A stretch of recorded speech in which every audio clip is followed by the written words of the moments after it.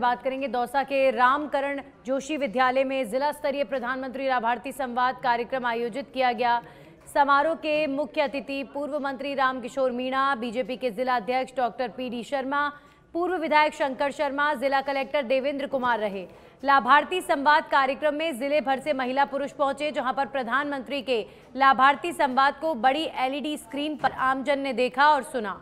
प्रधानमंत्री नरेंद्र मोदी ने लाइव आकर सभी जन समुदायों को केंद्र की जन कल्याणकारी योजनाओं के बारे में जानकारी दी।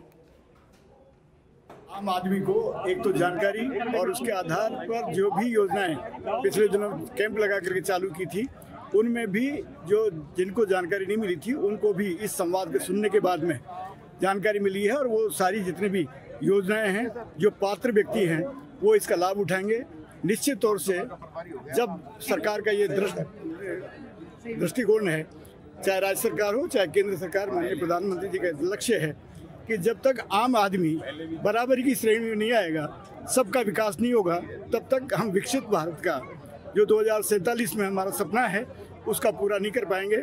और निश्चित तौर से पूरे राजस्थान में आज जो ये संवाद हुआ है, इसका बहुत बड़ा लाभ। देखिए, आज राज्य सरकार और केंद्र सरकार के निर्देश अनुसार विकसित भारत संकल्प यात्रा और अन्य राज्य सरकार और केंद्र सरकार की स्कीमों से जो लाभान्वित है, उनके साथ माननीय प्रधानमंत्री का संवाद हुआ था। ये संवाद जो है, दौसा ज़िले के अंदर सभी विधानसभा में आयोजित किया गया था जिसमें बड़ी संख्या में जो है कि जो लाभार्थी थे वो इस उत्सव में पहुँचे थे। तकरीबन तीन से पाँच हज़ार तक की गैदरिंग जो है। ये मोदी जी।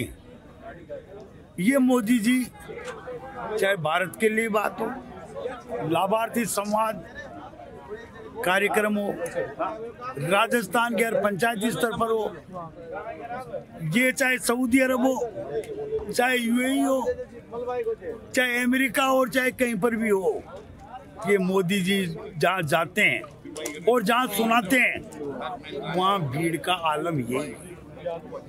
और इनका भीड़ का आलम इसीलिए है कि ये काम कर रही है। ये हमारी बहनों के लिए, युवाओं के लिए, हमारे सभी के लिए ये काम